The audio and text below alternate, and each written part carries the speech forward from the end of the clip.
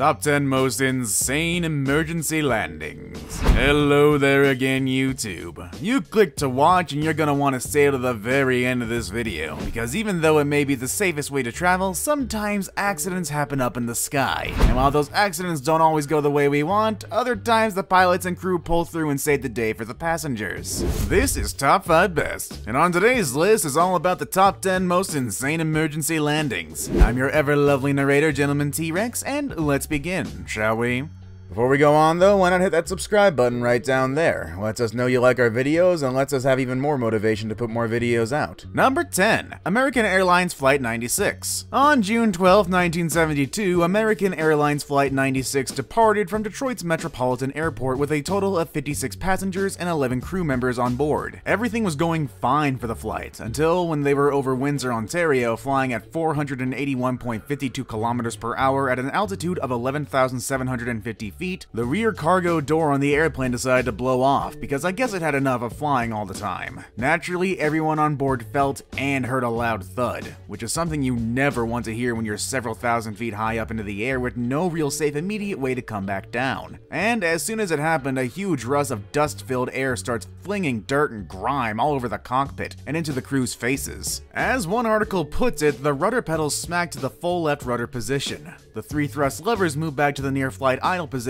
and the aircraft yawed to the right. The captain of the plane, Bryce McCormick, had studied when he was in flight school the possibility of flying the DC-10 through the thrust of the engines if the surface controls had failed. Thinking fast, McCormick gave more power to the two wing engines to lift the tumbling aircraft above the horizon and steady it out, keeping it in the air all the meanwhile. The plane was turned around and landed back in Detroit, a recipe for disaster averted by a pilot who remembered something that he was taught back in flight school. So, lesson learned. Pay attention in school, kids. It might save you from a plane crash one day. Number 9. F-15 Eagle Jet. On May 1st, 1983, during an air combat maneuvering training event, Israeli pilot Zivi Nedivi and his F-15 Eagle jet had a mid-air collision with an A-4 Skyhawk. If that isn't terrifying enough, the F-15 went into an immediate spin, with neither Nadivi or his wingman knowing that their plane was straight up missing an arm. To make matters worse, the fighter jet was leaking fuel rapidly, and there was no way to get the thing back on course for safety. In a sheer moment of brilliance, Nadivi turned on his afterburners, which in turn allowed him to stabilize and fly the now apparent one-winged fighter jet. And he was able to fly for almost 10 minutes before landing at a desert military base without anyone getting hurt. In a unique twist of this tale, Nadivi was immediately demoted for disobeying direct orders from his instructor to eject out of the aircraft for his own safety. But immediately after that, he was promoted again for his efforts in saving the F-15, a fighter jet that no doubt cost lots of money to make. Number 8. DHL Airbus A300B4. Number 8 on this list is a thing of all aviation nightmares, especially when flying over an active military zone. On November 22, 2003, a DHL cargo plane, Airbus A300B4-200F, with a crew of three had its left wing shot at and hit by a missile fired near Baghdad, Iraq. The plane was only at 8,000 feet, and because of the attack, a fire broke out, and the plane's hydraulic control system went entirely south, with no control due to the extremely broken wing. In short, what the missile did to the plane meant that its ailerons, spoilers, elevators, rudders, and flaps were immovable. You know, the very components needed to actually fly a plane. When their flight controls went out on them, the plane began rolling as much as 30 degrees to the left and to the right. They quickly dropped the landing gear, which in reality stabilized and helped slow down the chaos of a plane about to possibly crash. And the lone crewmen of just three were able to land the plane safely. They quickly evacuated the plane and ran away from the craft, but lo and behold, the oncoming crash crews had to stop them. Why? Because they had crash landed the plane and they themselves were running in the middle of an uncleared minefield. Imagine if they had landed the plane on one of those. You'd have a real disaster on your hands. But thankfully, it never came to that for anyone.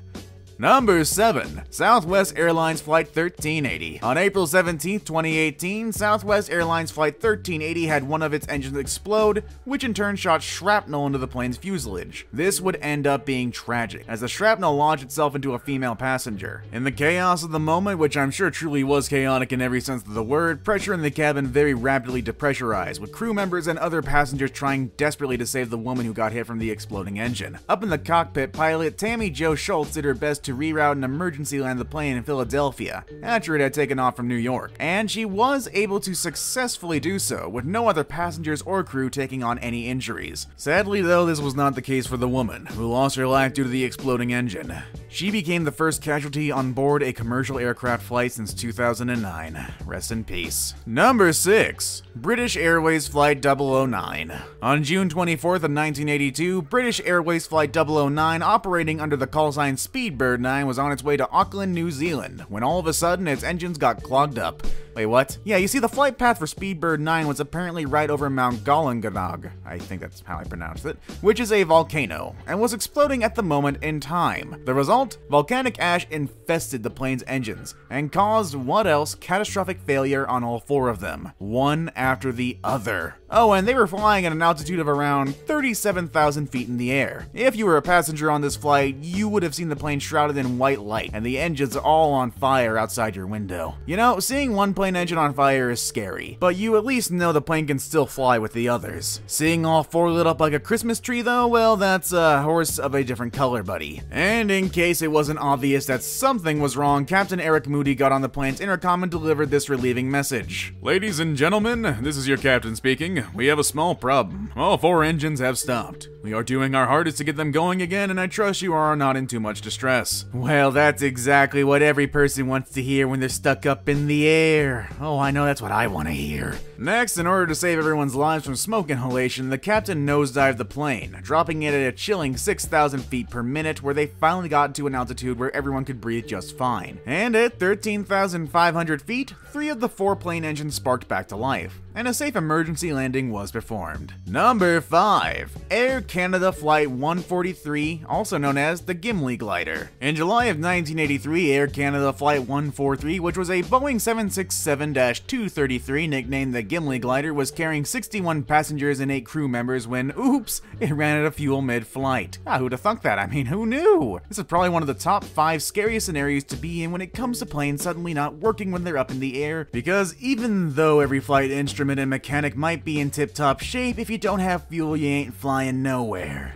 And also, with no fuel means no power, so you can only imagine the mood on this airplane when everything suddenly went dark and silent and the plane started tipping a little too much towards the ground. Oh, and they were at an altitude of about 41,000 feet. Now, what makes this emergency landing story so unique is that the pilot of the plane, Bob Pearson, was a trained glider pilot, which did put him a leg up over most other commercial pilots, because he had the training and experience to be able to pull off what was about to go down on the ground. Because where they were landing was a 6,000 800 foot runway at a Royal Canadian Air Force base in Gimlethat that had been decommissioned for 12 years. And this plane had nothing going for it. No control tower, no emergency vehicle standing by, and no way to warn the people on the ground that this hulking monstrosity was about to make an emergency landing. But they did, and they did it without injuring anyone. Truly a plane worthy of the nickname the Gimli Glider. Number 4. British Airways Flight 5390. On June 10, 1990, one of the scariest things that can ever happen to a commercial airline pilot occurred. A faulty windscreen panel fell off from the cockpit window, resulting in Captain Tim Lancaster of British Airways Flight 5390 to get sucked out of the the cockpit itself, with only his legs dangling inside at an elevation of 17,000 feet. The plane's co-pilot, Alastair Atchison, had no choice but to continue to fly the plane while flight attendants did their best to grab on and hold on to the man who was sucked halfway out the plane. And it was getting worse. The pilot was beginning to slip in and out of consciousness due to the lack of breathable oxygen, and getting thrashed and bashed about the outside of the plane due to the high winds and speeds. Can you imagine how frightening that must have been? That either you're going to slip into unconsciousness, or your crew will lose grip of you and you're going going to get sucked out of the plane and meet a horrific end. But thanks to the efforts of the co-pilot, the plane was successfully emergency landed, and the pilot was rushed to the hospital where he was able to live to fly another day, sans any PTSD he may have gotten from that experience. Cause woof, that happened to me, I don't think I could step into another airplane ever again. But some people aren't so lucky. And by that I mean, number 3. United Airlines Flight 811. If you thought number 4 was terrifying, well, wait until you hear this one. In February 1989, United Airlines Flight 811 11 departed Honolulu International Airport, Hawaii on its way to Auckland, New Zealand. About 16 minutes into the flight and about 22,000 feet over the Pacific Ocean, there was a loud grinding noise, followed by a bang, followed by yet another worst case scenario. The forward cargo door blew open,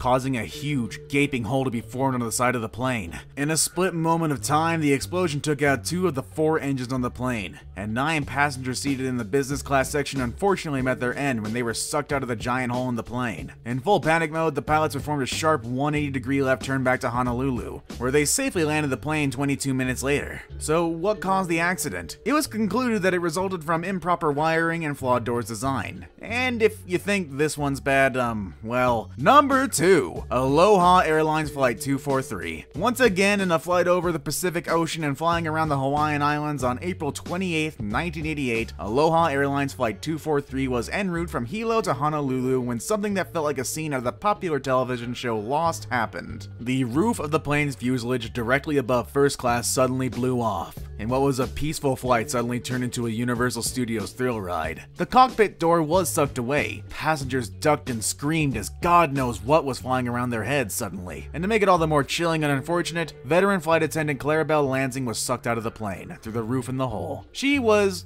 thankfully the only fatality, sadly enough. 13 minutes later, the crew were able to successfully land the plane in Kahului Airport's runway 2. Yeah, this one is pretty freaking scary, especially if you were a passenger seated on the side of the plane that had blown off, and you were that close to facing death right then and there. Seriously, how could you ever fly again after this? Alright, I saved the best for last, but first I have a quick challenge that only takes 5 seconds to complete. So if you can leave a like and subscribe within the next 5 seconds, you'll get 10 years of amazing luck. Just give it a try, it really works. Number 1. The Miracle on the Hudson. We all know this one, probably the most famous emergency landing of an airplane ever. US Airways Flight 1549 took off from City's LaGuardia Airport on January 15, 2009, when a flock of stupid geese collided with it just 3 minutes later. And as comical as that does sound, it actually created a serious and almost deadly situation, as pilot Chesley Sullenberger and his co-pilot Jeffrey Skiles steered the plane down, over, and into the Hudson River, just off Midtown Manhattan. When they pulled off the landing into the water, nearby boats came and rescued everyone who was on board. In recognition of their heroic and unique aviation achievement, the crew won several awards. Well, how's that for a happy ending? Anyway, that's it for this list, everybody. Like I always say, if you did make it this far, be sure to hit us up in the comments below, as we always try to respond and say what's up. Also, don't forget to drop a like down below, because we are top 5 best and Thanks for watching, guys. See you around next time.